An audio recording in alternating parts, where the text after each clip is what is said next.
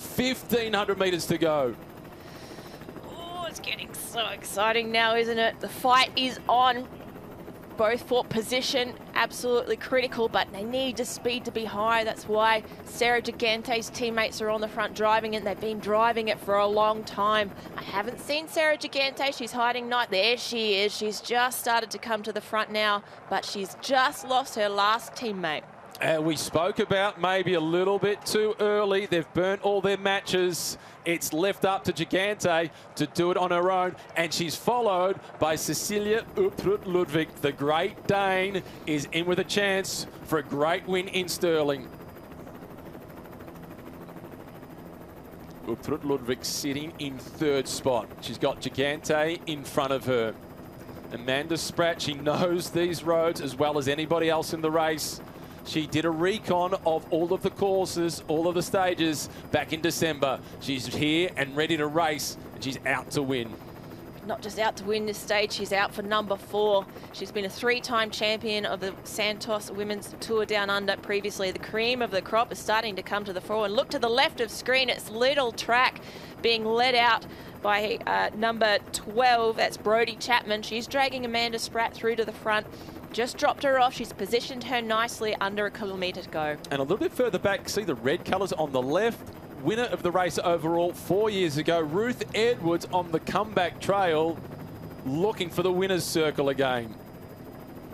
You can see how hard they're working on this uphill climb, rocking of the bodies. Oh, little nudge of the handlebars there. Held up nicely. This is Neve Bradbury now going to the front.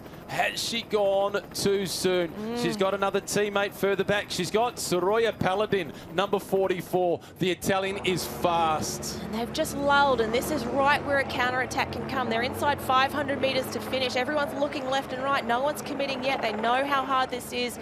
So close, but still so far. Bradbury on the front.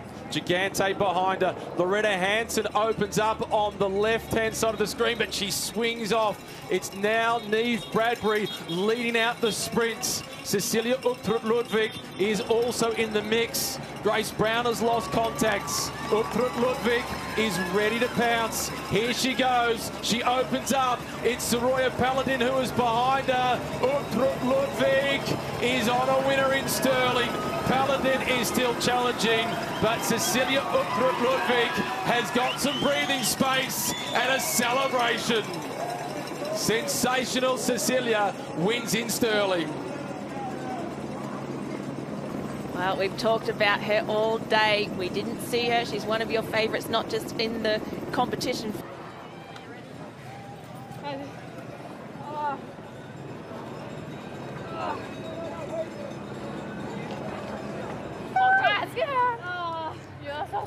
Evita Muzic is the first one there to congratulate her. She also strong, she said, and yes, she is. Just have a look at the replay here. Neve Bradbury, she loses a teammate. She's out front early and she knows she doesn't want to be there. She looks over her shoulder left and right and unfortunately lulls in the speed and that's when Uttrup Ludwig decided to make her move and the legs just carried her all the way to the end. Great celebration. Fantastic form. Didn't see her. She hit really well throughout the entire stage.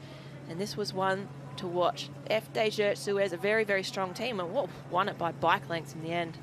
Not enough, though, by the looks of it, to create a official time gap. Soraya Paladin in second, Sofia Bertizzolo in third, Francesca Barale in fourth, and it was Heidi Franz in fifth spot from the Life Plus Wahoo team. And we've seen Ruby Rose Gannon chasing the intermediate time bonuses throughout the day. Cecilia Ludwig, she didn't. She chased the stage. She got a 10 second time bonus. Yeah, um, plan A was to uh, sprint for Grace, and we actually had it all figured out and how we were going to do it, and I was excited about that. But then uh, Grace didn't feel so good, so uh, we had to change the plan and then I'm just happy I could execute. Oh, that feels good! Yeah, time to celebrate. It's good. Perfect way to kick off the season with the team. Yeah, it's it's just so good being in Australia where my boyfriend comes from and taking a win and yeah, it's just awesome.